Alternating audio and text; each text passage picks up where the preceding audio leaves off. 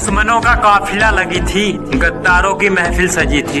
दुश्मनों का काफिला लगी थी, गद्दारों की महफिल सजी थी, और उन सबको धूल चटाने वाला और कोई नहीं मेरे दोस्त। और उन सबको काने मुरिया पे नचाने वाला और कोई नहीं मेरे दोस्त। जब सर उठा कर देखा तो अपने यूपी का एक बंदा अकेला खड़ा था।